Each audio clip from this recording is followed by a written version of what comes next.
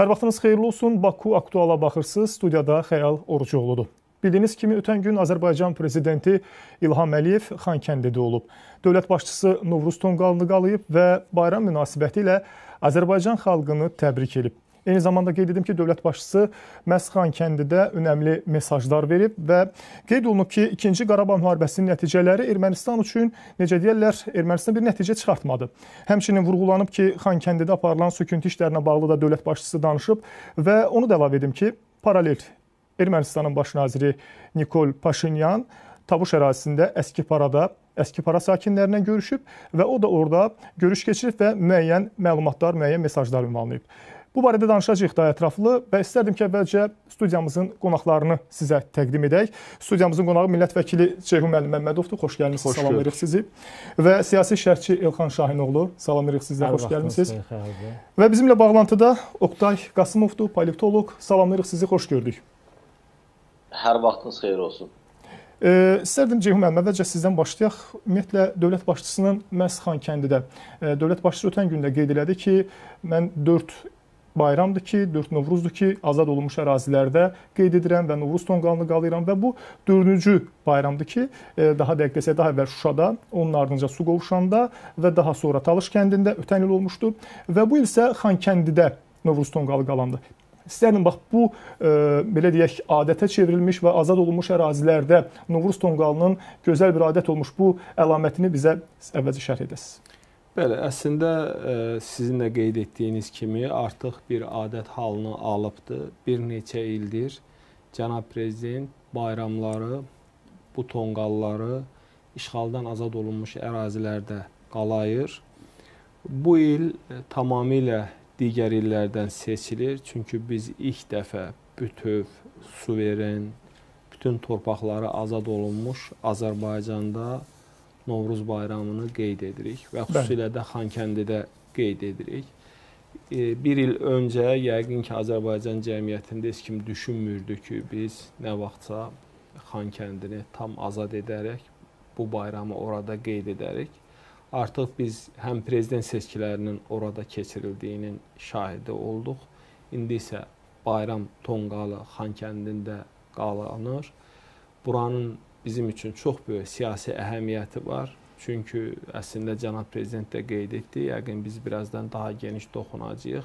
Həmin o tonqalın qalandığı yer Azərbaycan əleyhinə davamlı olaraq mitinqlərin keçirildiyi, çirkin planların qurulduğu və Azərbaycanın qeyd etdiyimiz kimi ünvanına davamlı olaraq təhdidlərin səslənildiyi bir məkandır. Və o mənada bunun həm rəmzi mənası var ki, artıq Azərbaycan bütün torpaqlarını azad edibdi.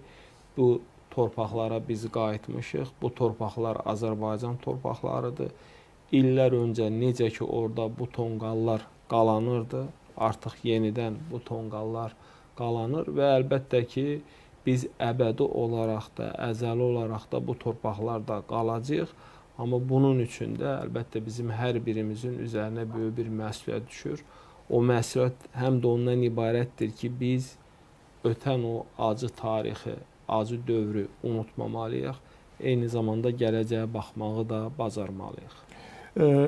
Elxan müəllim, istərdim digər suala keçək. Ümumilikdə dünən ötən gün daha dəqiq desək, Xankəndidə dövlət başçısı önəmli mesajlar sırasında separatçılardan qaran o tör-töküntü abidələrinmi deyim, e, tikililərinmi deyim, onlardan da söz açıb və qeyd olunub ki, e, deməli bu separatçıların, separatçılardan qalan o e, yerlərin belə desək, onların dırnaqarası parlament binasının filan sökülməsi məsələsində qeyd olunub ki, fevralın 26-sında Yəni ötən ay fevralın 26-sında bu binanın sökülməsinə başlanıldı və buradan belə bir nəticəyə gəlmək olur ki, dövlət başçısı e, azad olunmuş ərazilərdə belə görülən işlərdə konkret olaraq günlərin və görülmüş planlar hamısı düşünülmüş və necə deyirlər tam e, oturmuş bir şəkildə öz həllini tapır.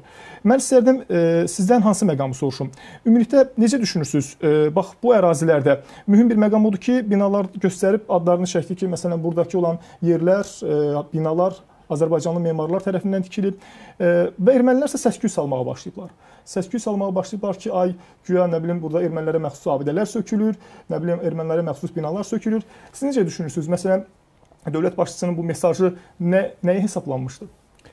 Yəni hər şey sizin də qeyd etdiyiniz kimi Xəyal bəy planlı şəkildə həyata keçir. Biz Ceyhun bəy də vurğuladı. Yəni əsas hədəfimizə çatandan sonra ki, torpaqlarımızı azad edəndən və Qarabağ üzərində suverenliyimizi tam bərpa edəndən sonra bir neçə hədəfimiz var. Hədəflərdən biri bəli, Azərbaycanlıları Qarabağa sürətlə köçürməkdir və əsas hədəflərdən biri də yaxın 2 il ərzində təxminən 140 min Azərbaycanlını ki, vaxtilə o yerlərdə yaşayıblar, ora köçürməkdir. Bu çox ciddi hədəflərdən biridir və bu proses Bəli. artıq sürətlənir. İkinci hədəflərdən biri Azərbaycan memarlığına yad elementlər oradan götürülməlidir, qaldırılmalıdır. Hı -hı. Və bu işlə də Azərbaycan planlı şəkildə bunu da həyata keçirməyə çalışır. İndi siz deyirsiniz, hara yaşayırsınız? Əslində mən erməni saytlarını hər gün izləyirəm. Bir-iki dəfə hara yaşayır salmağa çalışdılar, amma görəndən sonra ki, onları eşidən yoxdur. Onlar da artıq bu mövzuya o qədər də diqqət yetirmirlər. Ona görə biz bu prosesi davam etdirməliyik. Məsələn, ermənilərdə bir adət var. Bunlar bu xaçqar deyirlər daşdır, adicə qəbir daşına oxşayan bir daşdır. Harda gəldi qoyurlar. Qoyurlar deyirlər ki, ermənilər burada 100 illər, 1000 illər boyu yaşayıblar. Hətta bu daşı istənilən ölkədə də qoya bilər. Mən xatırlayıram, mən Ukraynaya bir səfər etmişdim, bir hardasa bir 8 il, 10 il qabaq.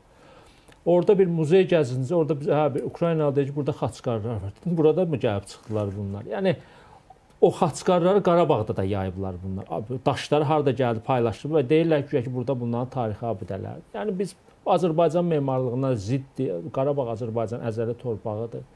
Biz ə, e, ə, e, əgər ərazi bütövlüyümüzü təmin etmişiksə və 200 illik bir problemi həll etmişiksə, bu məsələyə də əncam çəkməliyik. Çünki biz torpaqlarımızı azad edən kimi o bir çox abidələri artıq ortadan qaldırdı. Məsəl üçün Ermənistanın baş naziri o qatil vardı, Vazgen Sarkisyan səhv. O ki, parlamentdə özə güllələdilər 1999-cu ildə.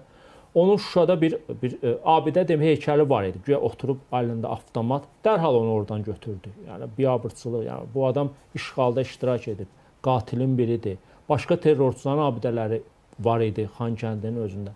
Yəni Xankəndinin özü sırf Azərbaycan memarlığına uyğun orada tikintilər həyata keçirmək. Bir məsələni də qeyd edim. Deməli indi Xankəndinin və mən hesab edirəm ki, məskunlaşdırılması məsələsində biz sürətləndirməliyik. Düzdür, belə fikirlər var ki, indi orada keçmişdə ermənilər yaşayıb bu məsələ danışıqlar predmeti ola bilər. Biz ermənilərə vaxt verməliyik. 6 ay. 6 aya geri dönməsəz, mülkiyyət hüququndan da məhrum olacaqsınız. Hadrutun özü də, Hadrut özü çox cənnət bir yerdir. Ermənilər vaxtlı cənnət yerdə gəlib yaşayıblar.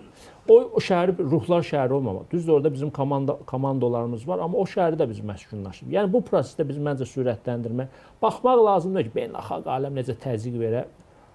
6 ay vaxt verir. Geri qayıdıb Azərbaycan vətəndaşlığını qəbul etməsən, mülkiyyət hüququndan da məhrum olacaqsan və düzdür, indi biz Xankəndinə Azərbaycanlılar qayıdacaq. Amma məncə bu azdır. Sırf bu həm Xankəndin, həm də Hadrudun məskunlaşdırılması prosesində biz sürətləndirməliyik. Bir e, politoloq olaraq necə düşünürsünüz? Ümumiyyətlə ermənilər o 6 ay vaxt qoysalar, Azərbaycan tərəfi, hə, Azərbaycan tərəfi vaxt qoysa ki, 6 ay ərzində qayıtdınız, qayıtdınız, qayıtmadınız artıq mülkiyyət hüququ əlinizdən alınır qayıtma ehtimalları varmı? Xeyr, düşünmürəm. Yəni qayıtsalar, qayıtsınlar, vətəndaşlığımızı qəbul etsinlər, yaşaya bilərlər. Amma ki. qayıtmaq istəsələr buna qədər qayıdarlar. İndi 50-100 nəfər nə qədər qalıbsa, onlar Azərbaycan vətəndaşlığını qəbul edəcəklər. Çünki qəbul etmək istəməsəydilər qalmazlar orada. Bizim əsas şərtimiz odur ki, elə belə qayıdış deyil bu. Qayıdıb Azərbaycan vətəndaşlığını qəbul etməlisən, pasportlarımızı qəbul et, Azərbaycan konstitusiyasını qəbul, qanunlarımızla yaşamaq. Amma köçənlər bunu istəmir axı. İstəmirsiniz lap yaxşı. Biz heç dünəndən istəmirik. Onda ondan qayıtmaq imkanı da yox. O adamlar mülkiyyət hüququndan istifadə edə bilər ki, Azərbaycan vətəndaşlığını qəbul etsin. Amma köçənlərin mütləq əksəriyyəti qayıtmaq istəməyəcək. Bəli.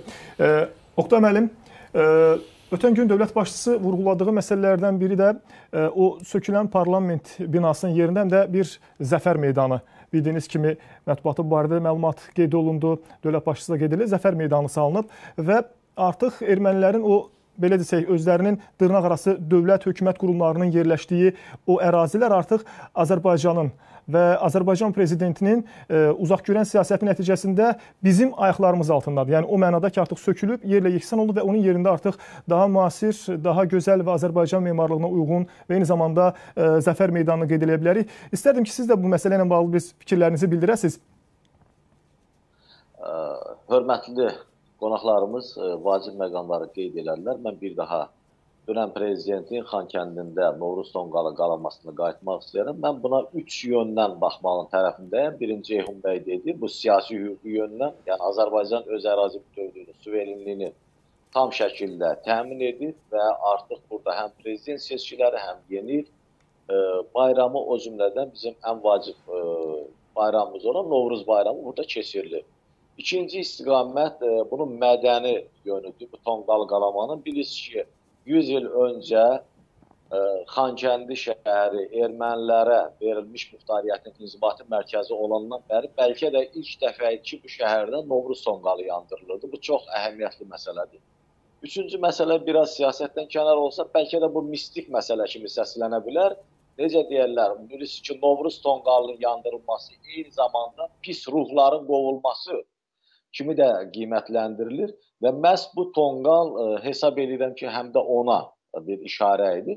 O ki qaldı orada binaların, o müəyyən e, arxitekturanı pozan binaların tikilməsi məsələsinə bu vacib bir məsələdir. Birincisi, ə, e, şəhərin baş planına zidd olan bu tikililər sökülməli idi. İkinci məsələ ondan ibarət ki, sökülən tikintilər işğal dövrü işğal ə, inşa edilib və bir də bunlar ə, Azərbaycan qarşını xalqına qarşı törənmiş terrorizmi, faşizmi və irqçilik nümunələrinin simvolu olan binalar olduğuna görə bu sökülüb və məhz işğal dövründə söküldüyünə görə beynəlxalq hüquq tam şəkildə Azərbaycana əsas verir ki, bu tikintilər sökülüb yerinə bir edilməlidir ki, necə ki bu edilir. Xatırlayırsa bir neçə il öncə Cəbrayıl rayonu ərazisində də bir kilsə ə, e, tikmişdilər ermənilər işğal dövrü. Onu da Azərbaycan ə, e, dövlət qurumları həmən ə, e, tikintini də sökdülər və ermənilər o zaman da müəyyən ə, hay-həşir saldılar, amma onların bu fikirlərinə ciddi reaksiyalar verilmədi. Çünki beynəlxalq konvensiyalar bunu ə, əslində bu hüququ Azərbaycana tam şəkildə tanıyır və mən hesab edirəm ki, bundan sonra bəli, Xankəndi şəhəri qəbul olunmuş baş plana uyğun tikintisi davam etdirilməlidir. Şəhər daha da gözəlləşdirilməlidir və öz sakinlərini qəbul etməlidir. Təbii ki, prezident bununla bağlı da dünən mesaj verdi. O bildirdi ki, e, Şuşa, Xocalı və digər Kəlbəcərlə əlavə Xankəndi də öz sakinlərini gözləyir və bu il ilk sakinlər Xankəndi sakinləri bizim soydaşlarımız geri dönəcəklər və o baxımdan mən İlxan bəyə qatırıram ki, sürətli şəkildə biz artıq qərb bölgəmizi, işğaldan azad olan bölgəmizi məskunlaşdırma prosesini həyata keçirməliyik. Necə ki, dövlət proqramı artıq qəbul olundu və 2026-cı ilə qədər biz 140 min soydaşımızın geri dönüşünü təmin etməliyik. Ceyhun müəllim, bugünkü kontekstdə danışsaq, hal-hazırda Azərbaycanın 8 kəndi işğal altındadır və danışıqlar predmetindən biri də bu 8 kəndləndə. Və xüsusilə də ilk mərhələdə bu 4 kəndin qaytarılması məsələsi gündəmdədir. Dövlət başçısı ötən gün Xankəndidə çıxış zaman həm də qeyd elədi ki, Ermənistan çox təəssüf ki, bəzən tarixdən dərs çıxartmır və bunun da onlar üçün acı nəticələri olur. Elə antiterror tədbirləri bunun bariz nümunəsidir. Siz necə düşünürsüz? Bax bu danışıqlar prosesinin gedişatında Ermənistan dərs çıxaracaqmı? Yəni biz bunu gözləyəkmi onlardan? Bəli, yəni sizin də qeyd etdiyiniz kimi əslində bizim gözləntilər ondan ibarət idi ki, dünən də cənab prezident məsələni xüsusi vurğuladı. Ermənistan 2020-ci ildə baş verən hadisələrdən nəticə çıxaracaq. Çünki biz əslində müharibəni davam etdirmək istəyirdik. 10 noyabr razılaşması imzalandı və orada konkret tələblər var idi, müddəalar var idi ki, Ermənistan ona əməl etməli idi. Yəni burada söhbət həm qoşunların çıxarılmasından gedir, Zəngəzur dəhlizi ilə bağlı məsələlər var və digər orada əksini tapan məsələlərə Ermənistan əməl etmədi. Biz nəyi gördük? Əslində bir neçə gün bundan əvvəl cənab prezident bu məsələni bir daha qaldırdı. Yəni kütləvi bir formada ora silahın daşınması, yəni söhbət 1 milyard məbləğində silahdan, sursatdan, texnikadan gedir. Hələ də bu gün biz orada o texnikaları, silahları aşkarlayırıq və eyni zamanda Ermənistan öz ordusunu orada saxlayırdı. İnkar etsə də biz bunu görürdük. Əlavə olaraq möhkəmlənməyə çalışırdılar sərhəddə, yəni orada yeni bir səngərlərin qazıldığının, istehkam qurğularının ə, e, sürətli bir formada qurulduğunun şahidi idik və bizim başqa alternativimiz yox idi. Biz bir müddət səbr elədik və Ermənistan tərəfindən tələb etdik bunu icra etsin.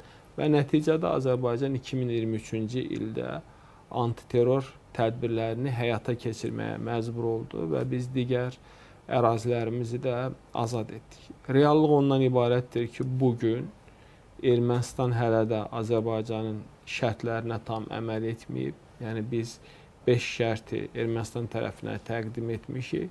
Bu gün hələ də bu 8 kənd azad olunmayıb. Azərbaycan öz mövqeyini açıqlayıb. Biz birinci mərhələdə 4 kəndin azad olunmasını e, tələb edirik. O digər 4 kənd isə, yəni söhbət 4 ekskap kəndlərdən gedir ki, Azərbaycan onu tələb edir və haqlı olaraq da danışıqlar predmetində ən önəmli məsələlərdən biri kimi Azərbaycan tərəfindən irəli sürülübdür. Və burada digər bir məsələ isə Zəngəzur dəhlizi məsələsidir ki, bu dəhliz də açılmalıdır və bu dəhlizlə də bağlı 10 noyabr razılaşmasında konkret bir müddəa və bənd var idi. İndi ermənilər onu fərqli bir formada şərh etməyə çalışsalar da ə, söhbət yoldan gedir. Hı -hı. Yəni Naxçıvana bizim birləşdirəcək ərazidə. Həm nəzarətsiz formada vətəndaşlarımızın, həm də yüklərimizin daşınması ora təmin olunmalıdır. Ermənistan bunlara əməl etməlidir. Əslində Ermənistan buna əməl etməzsə, Azərbaycanın növbəti antiterror tədbirlərini həyata keçirməyə tam hüququ var. Hı -hı. Yəni söhbət bizim dörd kəndimizdən gedir ki, onlar bu gün də işğal altındadır. Bəli. Və bunu Ermənistan tərəfi də özü də etiraf edir. Paşinyan da çıxışlarında bu və ya digər formada Ermənistan cəmiyyətinə müəyyən mesajları verir. Və bizim gözləntimiz ondan ibarətdir ki, Ermənistan bu həm 2020, həm 2023-də indi biz arada bəzi əməliyyatlar oldu. Onlar o qədər də miqyasca böyük deyildi. Biz əsas e, böyük əməliyyatları və tədbirləri dedik. Əgər Ermənistan nəticə çıxartmazsa, əlbəttə ki, bizim başqa yolumuz yoxdur. Biz beynəlxalq hüquqa əsasən bütün torpaqlarımızı azad edəcəyik və ərazi bütövlüyümüzü düzdür təmin etmişik, amma bu 8 kəndin məsələsi qalır. Ona görə əslində e, bu fikrimi yekunlaşdırıram. Cənab prezidentin bir neçə gündür biz heç zaman sülhə bu qədər yaxın olmamışdıq. Bu Ermənistana mesajdır ki, fürsətdir. Bu fürsətdən istifadə edin və eyni zamanda yəni siz 2020-2023-dən nəticə çıxartmalısınız. Yəni siz bu gün bizə nə isə diktə edə bilməzsiniz. Bizim Aynen. şərtlərimizi qəbul etməlisiniz. Yox, mən ötən gün ə, e, Ermənistanın baş naziri Nikol Paşinyan ə, e, Tavuş rayon ərazisində Əskipara kəndində oranın sakinləri ilə də görüşüb, e, görüş keçirib və orada qeyd edib ki, biz delimitasiya və demarkasiyaya çox yaxınıq, hətta deyib başlayıb artıq demarkasiya və delimitasiya prosesi. Ümumiyyətlə bu nə deməkdir? Doğrudan mı başlayıb? Yəni doğrudan mı artıq prosesə start verilib? Hesab edirəm ki, Ermənistanın baş naziri Nikol Paşinyan artıq daxili qərarını verib. Nədir bu qərar? Hı -hı bizim tələb etdiyimiz Ceyhun bəyin də vurğuladığı Qazax və Toxuza bitişik o 4 kəndin geri qaytarılmasına bağlı artıq beynində bu qərarı verib. İndi erməni cəmiyyətinə bunu izah etməli. Doğrudur. Bir müddət öncə mətbuat konfransı elə deyək, nalamuxa vurmağa çalışdı. Əvvəlcə dedi ki, ümumiyyətlə belə bir kəndlər mövcud deyil, amma sonra bu cümləyə zid başqa cümlələr də işlədi. Nə dedi? Hı -hı. Dedi ki, biz kommunikasiya xəttlərinin yerini dəyişməliyik. Bu sözləri Tavuşda da dedi. Bəli. Əgər sən kommunikasiya xəttlərinin yerini dəyişirsənsə, demək həqiqətən o 4 kəndin Ermənistana məxsus olmadığını qəbul edirsən və qaytarmaq fikrin də var. Başqa bir fikir də dedi. Bunu heç zaman səsləndirməmişdi. Demiş ki, sən demə Ermənistanın heç 26800 kvadrat kilometr ərazisi yox imiş, daha az imiş. Hı -hı. Bunun özü də bir etirafdır. Bəli. Bu erməni cəmiyyətini anladır ki, bizə aid olmayanı biz qaytarmaq. Bu hətta bu cümləni Tavuşda da e, işlədib. Yəni bu bunu etməlidir. Başqa çarəsi yox. Digər dörd kəndlə bağlı isə danışıqlar davam edər. Çünki prezident İlham Əliyevin də mövqeyi belədir ki, Qaza və Toğuza bitişik həmin dörd kənd qeyd şərtsiz geri qaytarılır. Digər dörd kəndlə bağlı bizim güzəştimiz nədir? Danışıqlar davam edə bilər. Biz indi o saat o dörd kəndi tələb etmirik. Və hesab edirəm ki, e, müsbət dinamika da var. Snayper atəş açıldı ilin başlanğıcında. Biz o postu darmadağın etdik. Müəyyən proqnozlar verildi ki, gərginlik artar. Amma sonra nə baş verdi? Münxen Təhlükəsizlik Konfransında Azərbaycan prezidenti Ermənistan baş naziri dialoq oldu. Nəticəsi olmasa da dialoq oldu. Bir neçə gün sonra Berlində Xarici İşlər Nazirləri fikir mübadiləsini davam etdilər. Bəli. Ondan da bir neçə gün sonra Antalyada diplomatiya forumunda Azərbaycan və Ermənistan nümayəndə heyəti böyük heyətlərlə qatıldılar. Panellərdə müxtəlif suallara cavab verdilər. Yəni bu müsbət dinamika hazırda var. Bunu qorumaq lazımdır və davam etdirmək lazımdır. Bəli, dəmir yumruq prezidentinə demək dedik yerində. Amma bizə məncə hər indiki şəraitdə müharibə lazım deyil. Biz əsas istəyimizə, hədəfimizə çatmışıq, ərazi bütövlüyümüzü təmin etmişik, Qarabağın suvereni tam bərpa. Bəli, yerdə qalan məsələlər var, həllini gözləyir. Bu həmin kəndlərdir və ə, dediyim kimi Zəngəzur dəhlizi.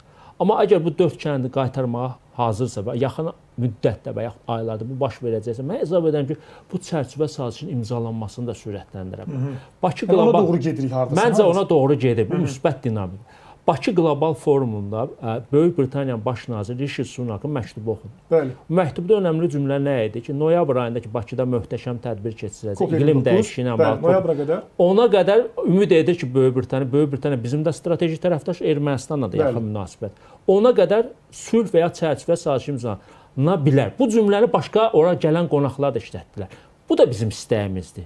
Yəni bu il məsələni həll. Amma 4 kənd o məsələsi həll olunsa, məncə noyabra qədər çərçivə sazişi imzalanır. Düzdür, Ceyhun bəy e, Zəngəzur dəhlizində xatırladır. Mən də razıyam. O dəhlizlə bağlı da bizim tələblərimiz yerində qalır maneəsiz keçid. Amma o istiqamətdə də məncə hesab edən ortaq məxrəcə gələ bilərik. Çünki bax fikir verin, Qazaxıstan prezidenti Azərbaycana səfər etdi. Bəli. Və o səfər zamanı bu mövzuda müzakirə getdi. Bu gün mənə jurnalist zəng edib sual verir ki, Qazaxıstan Xarici İşlər Nazirliyində Ermənistanda səfərdədir. Bəzi fikirlər söylür, bu bizim Qazaxıstan-Azərbaycan münasibətlərinə mənfi təsir edə bilər. Mən dedim tam əksinə. Orada o nə deyib? Deyib orta dəhliz reallaşmalıdır. Orta Bəli. dəhlizin əsas iştirakçıları kimdir? Mərkəzi Asiya Azərbaycan.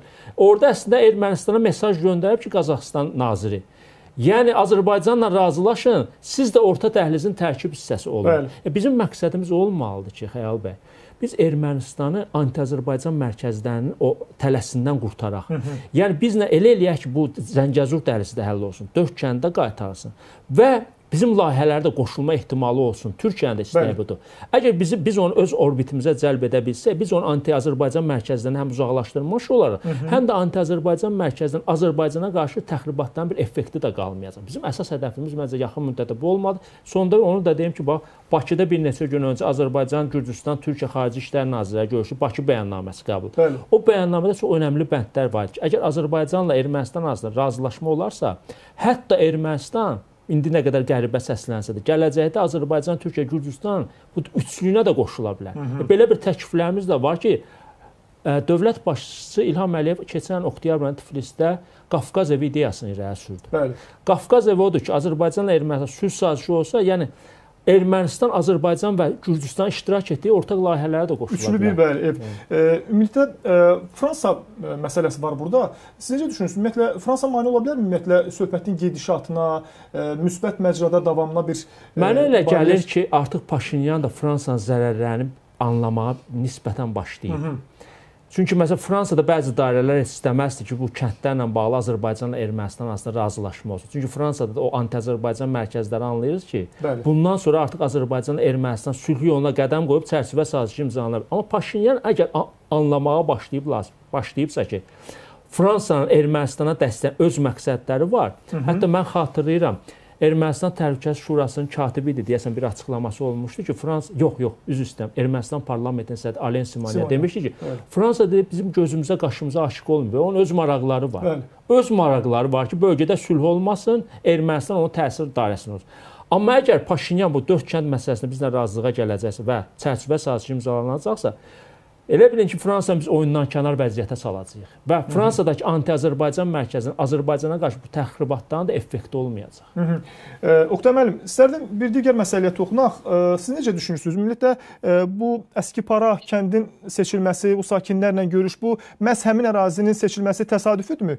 Yoxsa ola bilərmi ki, məsəl üçün doğrudan da e, Paşinyanın da qeyd etdiyi kimi demarkasiya və delimitasiya artıq başlayıb və bir növ oradakı insanlar, oradakı sakinlər artıq bununla bağlı baş nazirin öz dilindən müəyyən bir məlumatlar alıblar. İlk olaraq onu bildirim ki, üç tərəfli bəyanatın xatırlayırsa ilkin variantında məhz Qazağın 7 kəndi və Naxçıvan Kərki kəndinin azad edilməsi ilə bağlı bir müddia vardı.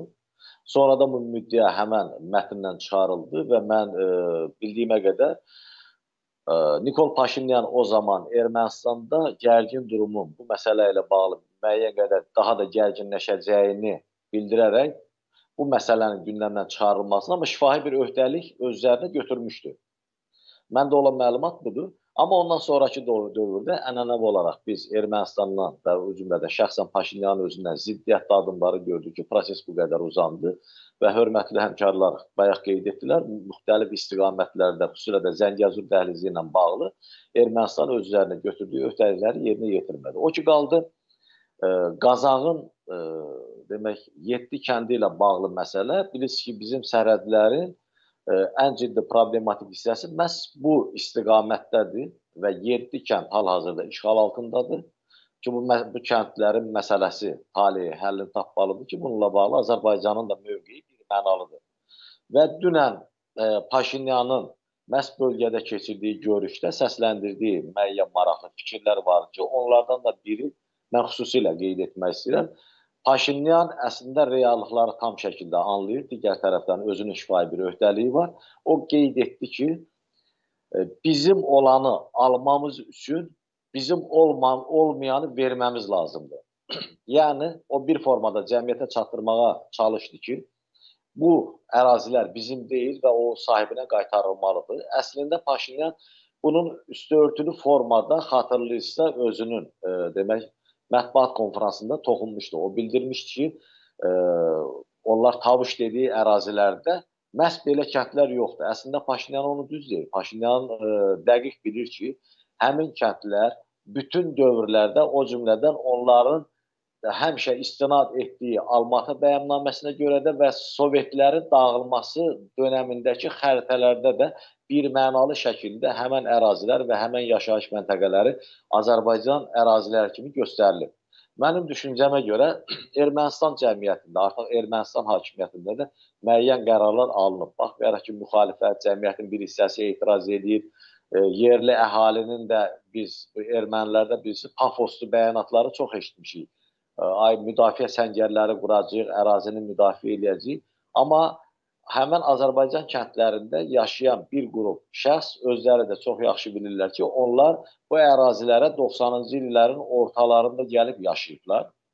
Və sadəcə olaraq Ermənistanın bu məsələlərdə çəkingənliklərindən biri məhz ə, Əskipara kəndi ərazisindən Ermənistanı Gürcüstanla bağlayan avtomobil yolunun keçməsidir. Digər tərəfdən Ermənistana Rusiyadan gələn qaz kəmərlərində bu bölgədən keçməsidir ki, bu Ermənistanı narahat edir.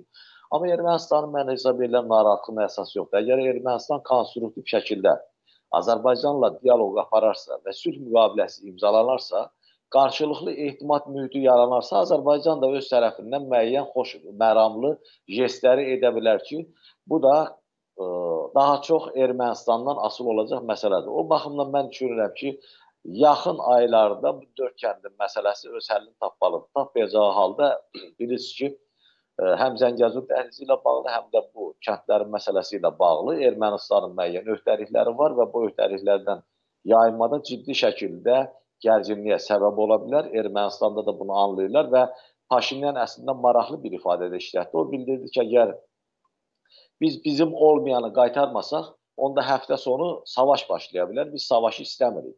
Sadəcə olaraq sərhədlərin dəqiqləşməsini istəyirik və bunu da məhz bu ərazilərdən başlamaq istəyirik. Əlbəttə ki, bir daha qeyd edirəm, ən mürəkkəb ərazi həmən hissədir. Çünki bu ərazilərdə anklavlar yerləşir və bizim işğal olunmuş ə, e, kəndlərimiz yerləşir ki, bu məsələlər öz həllini tapmalıdır. Təbii ki, digər 4 kəndin məsələsi də danışıqların gedişində ola bilər öz həllini tapacaq ki, bu Şahin Mustafayevin ofisindən verilən açıqlamada da bu cür qeyd olunur. Hə, bu məsələlərə və sülh müqaviləsinə e, mane ola biləcək güclər varmı? Var. Və Fransanın siz adını çəkdiniz. Fransa ilə bərabər bir çox ölkələr var ki, bunu istəmirlər. Müəyyən güc mərkəzləri var. Amma burada bu prosesə təkan verə biləcək amillərdən biri hansı ola bilər?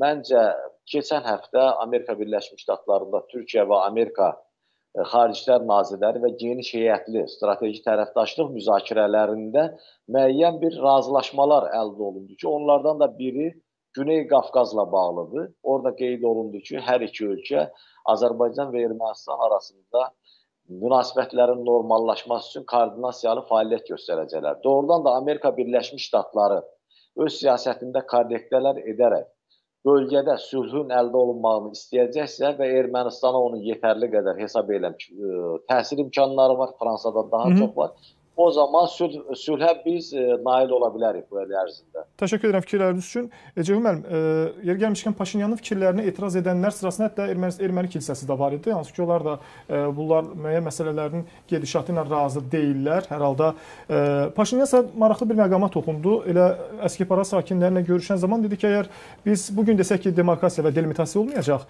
və mən buradan durub getsəm, bir gün sonra müharibə olacaq və siz sabah Respublika meydanında mənlə üz-üzə gələndə onda deyəcəksiniz ki, biz bilmirdik. Axı siz gedişatı bilirdiniz. Dolayısıyla belə başa düşmək olarmı ki, ümumiyyətlə artıq Ermənistan da, Paşinyan şəxsən özü də anlayır ki, Azərbaycanla hansısa bir başqa bir e, güc dili ilə, nə bilim kiməsə arxalanmaqla, hansısa bir böyük ölkəyə güvənməklə e, müəyyən mənada danışmaq olmaz və nəticələr Ermənistan üçün birbaşa mənfi olacaq. Əlbəttə ki, yəni Paşinyan bu mövqeyə gələnə kimi çox böyük bir dirəniş göstərdi. Bəli. Yəni söhbət ondan gedir ki, 3 il ərzində davamlı olaraq onlar çox ciddi təxribatlara əl atdılar. Yəni kollektiv təhlükəsizlik müqaviləsi təşkilatı ilə bağlı, sonra Fransa məsələsi. Yəni Ermənistan uzun müddət Azərbaycana təzyiq göstərməyə çalışdı. Ancaq Azərbaycanın o nümayiş etdirdiyi qətiyyətli, prinsipial mövqe ona gətirdi, çıxartdı ki, artıq ə, ə, Ermənistan anlayır ki, başqa bir yol yoxdur. Bəli. Və əslində çox incə bir məqama İlxan bəy toxundu. Fransa Ermənistanla bağlı çox maraqlı bir mənzərə yaranıb ki, artıq Ermənistan fərqli bir mövqe nümayiş etdirir. Hı -hı. Fransa isə öz mövqeyində yenə qalmağa çalışır. Əslində Paşinyan onu anlayır ki, artıq Fransada bu məsələdə Ermə Ermənistana yalnız zərər gətirir. Bəli. Çünki Azərbaycanın mövqeyi dəyişməyəcək, yanaşmağı dəyişməyəcək və əslində Paşinyanın bu etirafı da mən hesab edirəm indi Ermənistanla bizim münaqişəmiz olsa da, yəni səmimi bir etirafdır. Çünki. Paşinyan hakimiyyətdən getsə, Ermənistanda bu danışıqları sona kimi apara biləcək, konstruktiv, normal mövqe nümayiş etdirə biləcək ikinci bir siyasətçi yoxdur. Hı -hı. Çünki hakimiyyətə gələnlərin hamısı yenidən müharibə, yenidən Azərbaycana qarşı təxribat və bunun da nəticəsi məlumdur. Çünki Ermənistan bu gün Azərbaycanla müharibə edə bilməz Və o mənada bu çox açıq, dəqiq bir mesajdır ki, biz mütləq Azərbaycanla münasibətləri normallaşdırmalıyıq və özümüzün olmayanı da geri qaytarmalıyıq və hesab edirəm burada Azərbaycanın o qətiyyətli prinsipial mövqeyi çox həlledici bir rol oynadı. Çünki biz son danışıqlarda açıq-aydın bu məsələləri Ermənistan tərəfinə diqqətinə çatdırmışıq. Əslində biz son dövrlərdə Ermənistan tərəfindən də konstruktiv yanaşmanı görürük. Yəni nisbətən evet. söhbət iki ölkə rəhbərinin danışıqları, xarici işlər nazirləri və biz həqiqətən də heç zaman olmadığı qədər bu gün sülhə yaxınıq. Yetər ki, Ermənistan e, bu siyasəti davam etdirsin. Əslində e, yəni biz son Zəngilandakı o təxribatı da gördük. O bir Azərbaycanın səbrini yoxlamaq xarakteri və məqsədi daşıydı. Əslində orada da kənar qüvvələrin rolu vardı, amma artıq hər şey məlumdur ki, Əslində o hadisə də Paşinyan əleyhinə idi. Bəli. Paşinyan istəməzdi ki, bəlkə də belə bir təxribat. Paşinyan ona görə ondan sonra dərhal o orduda islahatlar həyata Bəli, keçirdi. Nəfər uzaqlaşdırdı. Əslində orada indi biz yəni kənar bir rol var idi, amma Azərbaycan o məsələni də çox qəti, yerində həll elədi. Qətiyyətli bir formada həll etdi və hesab edirəm ki, artıq biz həqiqətən də sürətli bir formada yaxınlaşırıq. Tarixi bir şans yaranıbdır və Ermənistan da bu şansdan istifadə etmək istəyir və əslində mən düşünürəm ki, Ermənistan xalqının da ən azı 3də 1-i, bəlkə də mən deyərdim ki, 3də 2-si özü də bu müharibədən, bu münaqişədən yorulub. İndi siz kilsəni deyirsiniz. Kilsə öz strategiyasını, həyatını, ideologiyasını Azərbaycana Türkiyə düşmənliyi üzərində. Bəli. Yəni o düşmənliyi götürəndən sonra kilsənin artıq demək olar ki, o funksionallığı qalmış. Bəli, ona görə onlar bu qədər e, mesajları verirlər, amma bu da heç bir nəticə verməyəcək.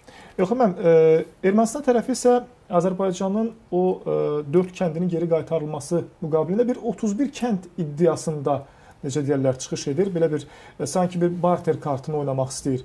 Necə düşünürsünüz? Xüsusən də Ermənistanın hökumət mövqeyli, hökumət yönümlü e, internet portallarında, saytlarında, xəbər media qurumlarında bu məsələ gündəmə gətirilir. E, ümumiyyətlə bu 31 kənd məsələsi nə yerdədir? 31 kənd nağıldır. Bunu Paşinyan da məncə anladı. Paşinyan anladı ki, onun bu nağılına heç erməni cəmiyyəti inanmır. Niyə? Çünki məsələn son mətbuat konfransında 31 kəndin adını çəkmədi. Bəli. Əgər israrlıdırsa, çəkməli idi ki, yaxşı mən bu 4 kənddən imtina edirəmsə, siz də mənim o 31 kəndimi geri qaytar. Yəni bu tezis zəif olduğunu Paşinyan da məncə anlayıb. Burada mən ə, xəbər icazə versəz Oqtay bəy də, Ceyhun bəy də çox önəmli məsələlər də onu da mən fikrimi bildim. Bu Oqtay bəy kommunikasiya xəttlərinə toxundu. Mən hesab edirəm ki, biz bəli, əgər sülh sazişi ya çərçivə sazişi imzalansa, biz ermənilərə anlatmalıyıq. Sizin o qaz boru xətti də, o Gürcüstana gedən yol da təhlükəsizdir. Sülh varsa, heç bir müharibə olmayacaqsa, yəni problem yox, heç kommunikasiya xəttlərini çəkməyə də bilər. Belə-belə onlara təminat verə bilərik. İkinci bir məsələ, e, e, Oqtay bəy də toxundu, erməni cəmiyyəti, Ceyhun bəy də onu vurğuladı, erməni cəmiyyətinin e, reaksiyası.